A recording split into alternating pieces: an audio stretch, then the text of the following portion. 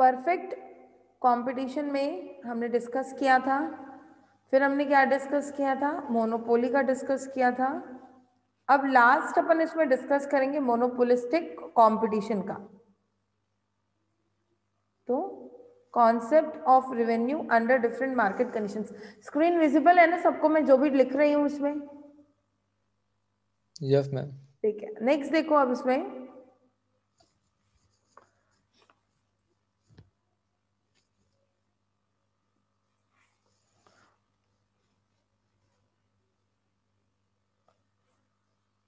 देखो, इसमें अपन को कोई डायमेग क्या बोलते हैं डायग्रामेटिक वर्जन से नहीं बनाना है, ठीक है? इसमें सिर्फ़ हमको सिंपल स्टडी करनी है मोनोपोलिस्टिक वाले में।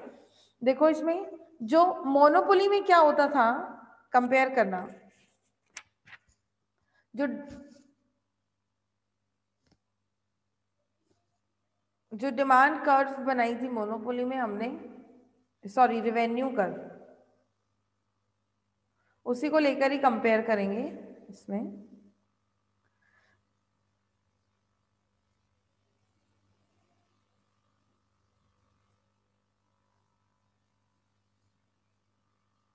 देखो टोटल रेवेन्यू ना ऐसे अपवर्ड की तरफ़ था और इंक्रीजिंग था। ठीक है, ये था टोटल रेवेन्यू मोनोपोली में। और ये ऐसे डाउनवर्ड की तरफ़ आ रहा था अपना एवरेज रेवेन्यू, और जस्ट उसके नीचे आ रहा था अपना मार्जिनल रेवेन्यू, और बिल्कुल माइनस तक नीचे हो गया था ऐसे। ठीक है, उस समय डायग्राम कुछ ऐसे बना होगा। तो ऐसे लग रहा है। यहाँ से कुछ ऐसे आया था अपना। मार्जिनल रेवेन्यू ऐसे आया था और एवरेज रेवेन्यू भी ऐसे जा रहा था। है ना? यही डायग्राम बना था ना उस समय।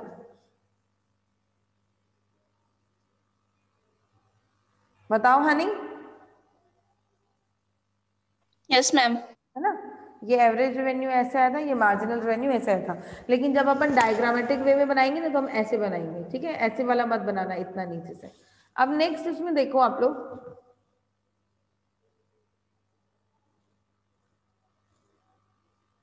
अब इसको मोनोपोलिस्टिक में क्या होता है? देखो परफेक्ट कंपटीशन की सिचुएशन मैंने बताई है कि वो मिथ होती है। मोनोपोली एग्जिस्ट करती है मींस वन प्लेयर होता है, एक ही सेलर होता है और मोनोपोलिस्टिक में क्या होता है? ओलिगोपोली जो रियल मार्केट सिचुएशन है ना, वो ये है। किसकी? मोनोपोलिस्टिक की। परफेक्ट का जस्ट अपोजिट हो जाता है मोनोपोलिस्टिक कंपटीशन परफेक्ट कंपटीशन में जो गुड्स बिकते हैं, सब समझते जाना ध्यान से जो जो डेटा बताते जा रही हो।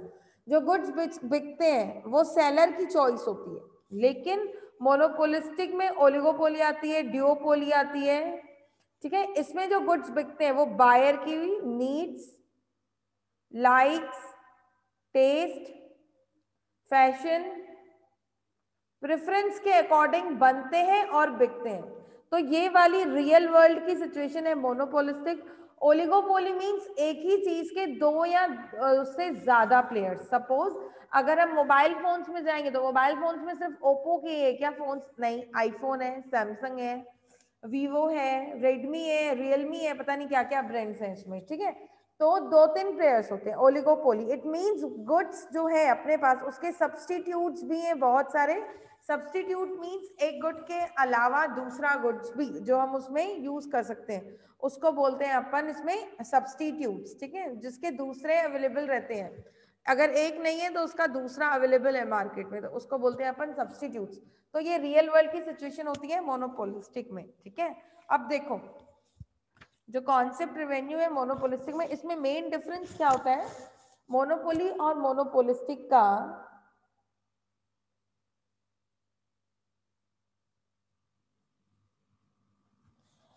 एम आर और ए आर कर्व ठीक है? M R and A R curve curve वैसे ही बनेगी, जैसे उसमें बनती थी बट डिफरेंस क्या होगा? ये जो कर्व होगी ये, ज़्यादा इलास्टिक होती है। इज़ मोर इलास्टिक मतलब अब हमने इलास्टिसिटी ऑफ़ डिमांड पढ़ा था तो मोनोपोली से ज़्यादा मोनोपोलिस्टिक में क्या होगा? जो एम आर ये जो कर्व है एम आर कर्व और ए आर कर्व ये क्या होगी? ज़्यादा इलास्टिक होती है इसमें। इट मींस जब मोनोपोली के जो फर्म ठीक है, जब प्राइस इसका मतलब क्या होता है, देखो मोनोपोली में क्या होता है? इसका मतलब क्या होगा? इलास्टिक का वो देखो, जब फर्म प्राइस को बढ़ा देती है, तब उसकी जो डिमांड होती है ना, वो क्या हो जाती है? कम हो जाती है। दूसरी तरफ़ मोनोपोलिस्टिक में क्या होगा? जब फर्म अपने प्राइस को बढ़ाती है तो जो उसकी डिमांड होती है ना, वो मोर देन प्रोपोर्शनल उससे ज़्यादा फॉल होती है। मतलब यहाँ पे अगर वो प्राइस 10 परसेंट से बढ़ा रही है तो उसकी डिमांड क्या होगी? 10 परसेंट से कम हो जाएगी। लेकिन मोनोपोलिस्टिक फॉर्म में क्या होगी? जब वो डिमांड प्राइस 10 परसेंट से बढ़ाती है तो उसकी जो डिमांड होगी, वो सपोज़ अगर 10 परसेंट बढ़ रही है तो उसकी जो डिमांड है ना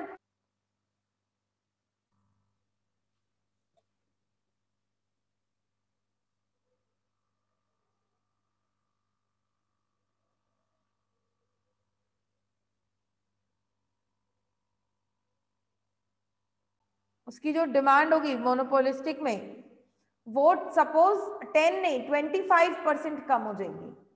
तो मोर इलास्टिक, देखो मैंने पहले भी बताया इलास्टिसिटी ऑफ़ डिमांड में, इलास्टिक का मीन्स क्या होता है? देखो, आप अगर इस कॉन्सेप्ट को डे टू डे लाइफ से कनेक्ट करेंगे, इलास्टिक मीन्स क्या होता है?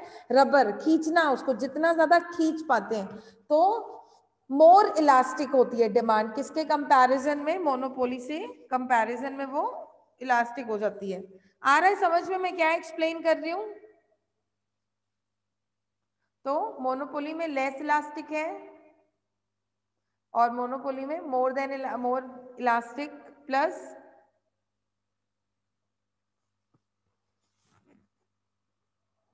क्यों होता है? रीजन क्या है? मोनोपोलिस्टिक में मैंने बताया, अभी सब्सटीट्यूट्स बहुत ज़्यादा हैं प्रोडक्ट्स के। तो मतलब जैसे टी का एग्ज़ाम्पल ले लो। टाटा की भी टी है, रेड लेबल है, फिर कौन कौन से आजकल नई आती गई हैं, ब्रुक बॉन्ड, दुनिया भर का। तो ओलिगोपोली, इसमें क्या है, बहुत सारे प्लेयर्स हैं। तो अगर एक अपनी प्राइस 10 परसेंट से बढ़ा रहा है तो उसकी डिमांड क्यों इतनी कम होगी? क्योंकि उसके पास दूसरे ऑप्शंस अवेलेबल हैं तो लोग दूसरे ऑप्शंस की तरफ़ मूव कर जाएँगे। और उसमें उनको ज़्यादा कोई लॉस भी नहीं होता है। आ रहा है समझ में?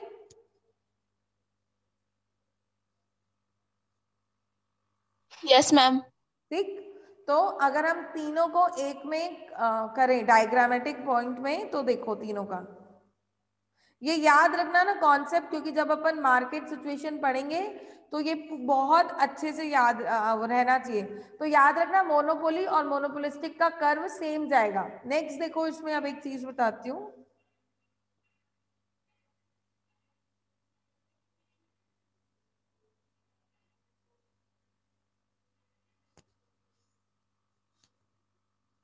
सपोज़ यहाँ से एक लाइन निकली।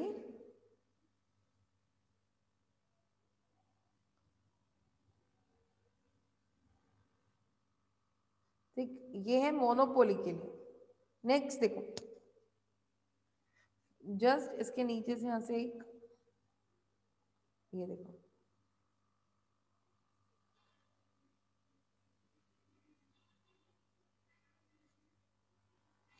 ठीक। और अगर मैं इसको यहाँ से क्रॉस करूँ,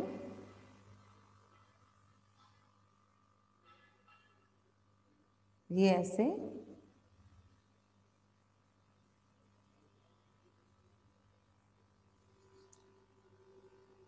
देखो, मैंने तीनों कर्व एक साथ डाल रही हूँ उसमें, ये वाली कर्व जो रहेगी तो ये समझो ये मोनोपोलिस्टिक की रहेगी।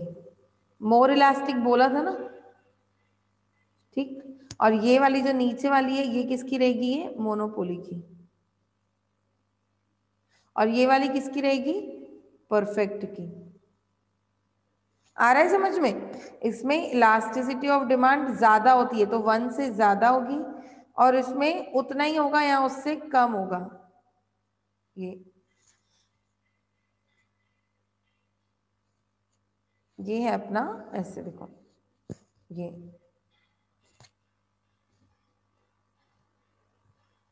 लेस देन वन, ये मोर देन वन, और परफेक्ट में क्या होता है? माइथ है, इसमें ये इन्फिनिटी रहती है डिमांड एकदम कुछ नहीं हो सकता है इसमें इसका। तो ये है परफेक्ट का। ये आया समझ में? कौन सी कर्व है ये? बताओ। डिमांड कर्व कौन सी कर्व है ये? डिमांड कर्व आ रहा है समझ में?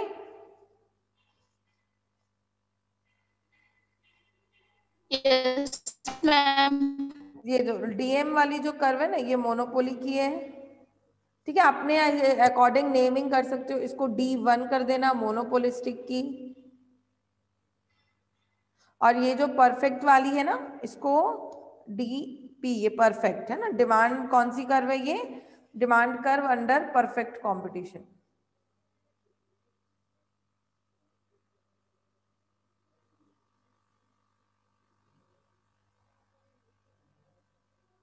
ठीक? ये हो गया अपना रिवेन्यू यहाँ पे प्राइस हो गया आपका, ठीक? और ये हो गया आपका आउटपुट यहाँ तक कोई डाउट कहीं पे?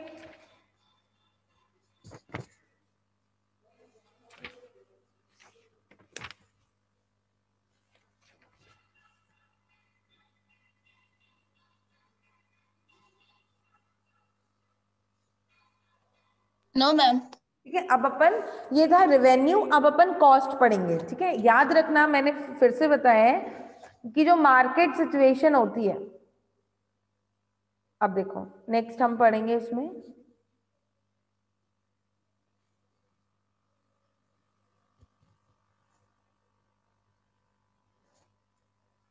ठीक, अब देखो, जो मार्केट सिचुएशन होती है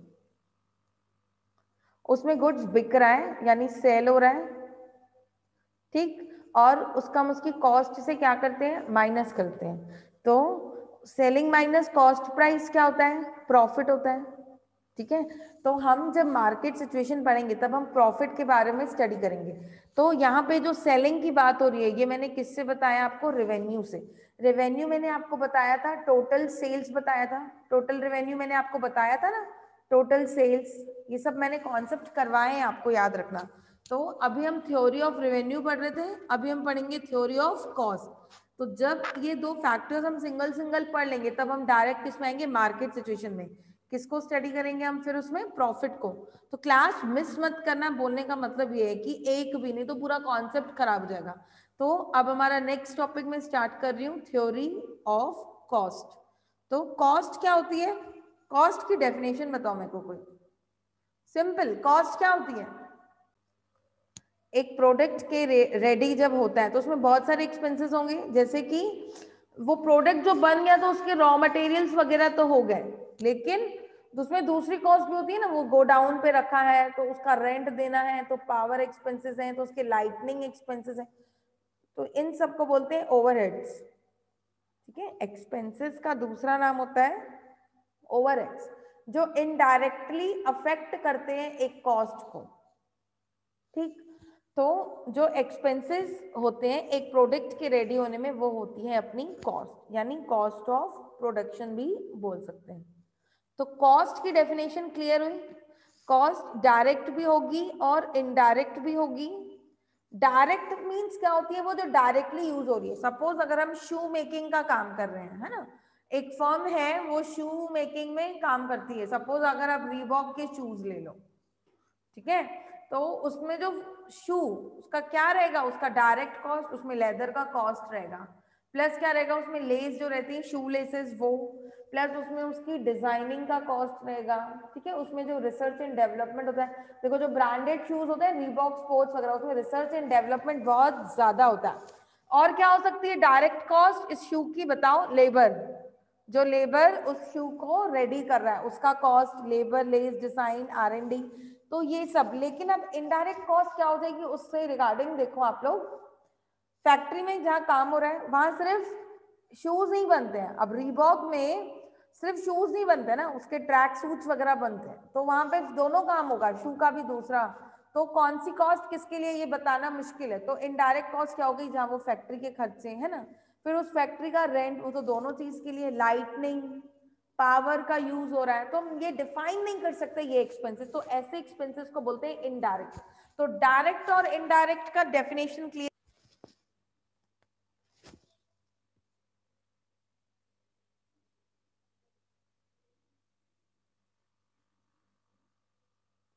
बताओ कोई डिफरेंस है?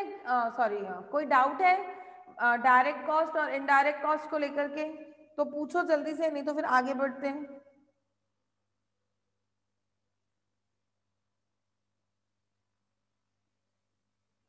यस मैम डाउट है? नहीं बताओ। प्रशांत कोई डाउट मैम नहीं है। आदित्य शुभम? नो मैम सब समझ में आ रहा है? नो मैम नो मैम देखो नेक्स्ट अब इसमें।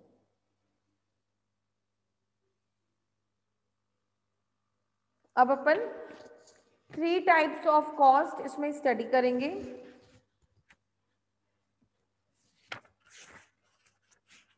फ़र्स्ट हम इसमें स्टडी करेंगे मनी कॉस्ट सेकेंड करेंगे हम अपॉर्चुनिटी कॉस्ट और थर्ड करेंगे अपन इसमें रियल कॉस्ट तो हम थ्री टाइप ऑफ़ कॉस्ट इसमें स्टडी करेंगे. मनी कॉस्ट क्या होता है? जो टर्म होता है कॉस्ट ऑफ़ प्रोडक्शन ठीक है? माइक म्यूट करो. आकांक्षा, किसका पता नहीं माइक ऑन जो कॉस्ट ऑफ़ प्रोडक्शन होता है, वो क्या रेफर्स करता है? Money expenses refers to money expenses incurred in the production of a commodity, जो अभी मैंने बताया ना, ये वही है। मनी एक्सपेंसेस जो इनकर्ड होते हैं किसी प्रोडक्शन ऑफ़ कमोडिटी में मतलब किसी भी कमोडिटी के प्रोडक्शन में जो रियल मनी यूज़ होती है, उसको बोलते हैं कॉस्ट ऑफ़ प्रोडक्शन। अब नेक्स्ट इसमें देखो कौन कौन सी कॉस्ट अब इसमें इंक्लूड हो सकती है? रॉ मटेरियल, ये मैंने अभी बताया आपको, सेम वही चीज़ें। फिर वेजेस एंड सैलरीज, ऑब्वियस है, हम लेबर हैं, उनको वेजेस देंगे, सैलरीज देंगे। फिर देखो मैंने बताया था पावर चार्जेस लगते हैं। फिर क्या लगते हैं इसमें? रेंट वगैरह लगता है प्रेमाइसिस का। फिर इंटरेस्ट पेमेंट भी देते हैं। देखो कैपिटल है तो हम उसमें क्या पे करेंगे? इंटरेस्ट भी तो पे करेंगे। फिर हम इंश्योरेंस प्रीमियम्स भी पे करते हैं गोडाउन्स वगैरह का, ठीक है? फॉर एनी एबनॉर्मल लॉसेस फिर हम टैक्सेस भी पे करते हैं। लाइसेंस फ़ीस ड्यूटीज़ फ़ीस हम ये सब पे करते हैं। फिर क्या है इसमें देखो? मिसलिनियस बिज़नेस एक्सपेंसेस जो है अपने पास सपोज़ मार्केटिंग और एडवर्टाइजिंग के एक्सपेंसेस सेलिंग कॉस्ट और ट्रांसपोर्टेशन कॉस्ट है। ठीक है? यहाँ जो प्रॉफिट एक एंटरप्रेन्योर अर्न करता है वो भी तो उसका रेट ऑफ़ रिटर्न होता है ना, ये भी कॉस्ट ऐड हो जाती है। देखो, वो प्रॉफिट जो अर्न करता है, वो भी हमसे। तो ये दुनिया भर की जो कॉस्ट होती है, जिसमें मनी एक्सपेंसेस इंक्लूडेड रहते हैं मनी ठीक है? रियल मनी ये रियल कॉस्ट से कनेक्ट मत करना। हम मनी कॉस्ट की बात करें जिसमें रियल मनी इन्वॉल्व होता है, एक कमोडिटी के प्रोडक्शन में, उसको बोलते हैं अपन मनी कॉस्ट ठीक है? अब इस मनी कॉस्ट को हम टू पार्ट्स में डिवाइड करते हैं। एक होती है एक्सप्लिसिट कॉस्ट और एक होती है इम्प्लिसिट अच्छे से ध्यान से समझना चीज़ों को। ठीक? तो एक्सप्लिसिट कॉस्ट कौन सी होती है? वो कॉस्ट जिसमें मनी एक्सपेंडिचर इन्वॉल्व होगा।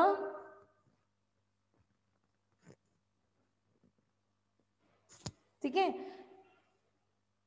इस कॉस्ट को अकाउंटिंग कॉस्ट भी बोलते हैं।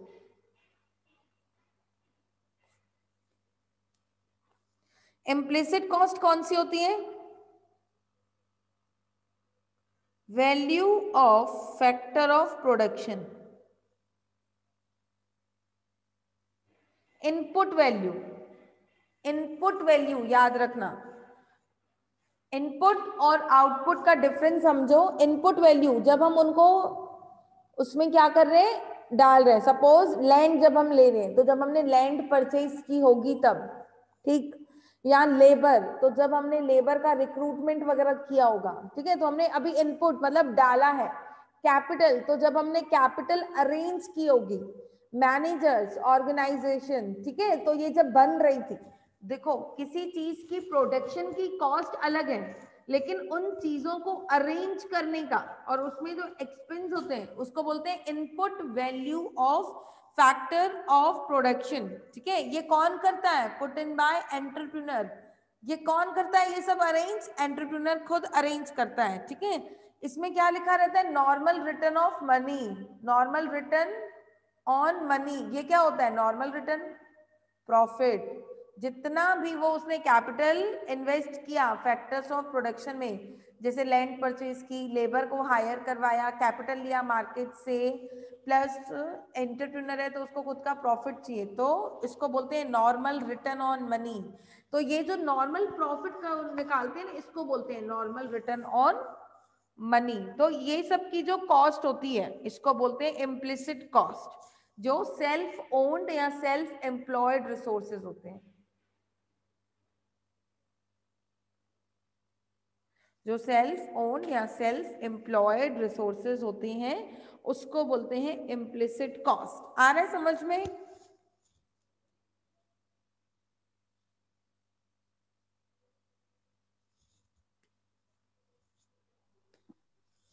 किसी को डाउट है तो पहले Yes, फिर ही मैं आगे बढ़ूँगी। तो ऐसी कॉस्ट जिसमें मनी एक्सपेंडिचर नहीं होता है स्टार्टिंग में दिखता नहीं है ठीक है? हमने इंटरव्यू कंडक्ट किया।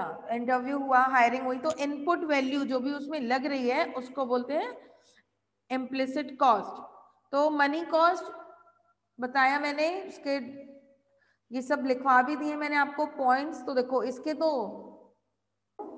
तो मनी कॉस्ट के लिए डेफिनेशन लिखो, जिसमें हम सबसे पहले एक्सप्लिसिट कॉस्ट की लिखेंगे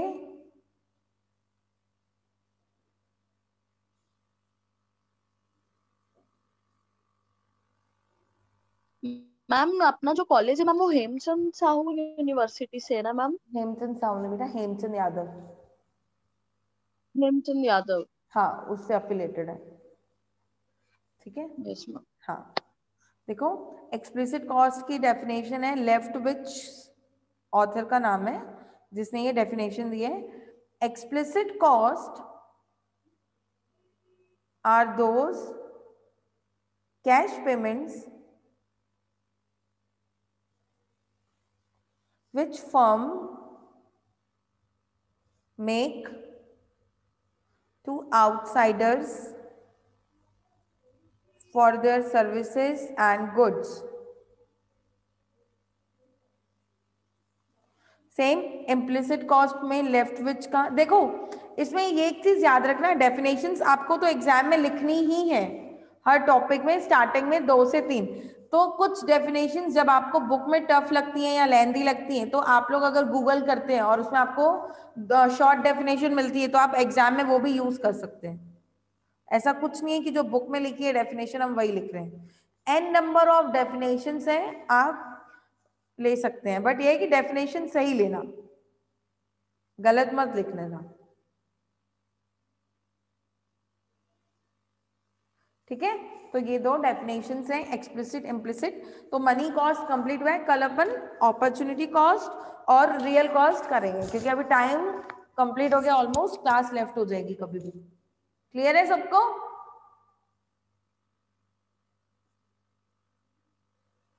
यस मैम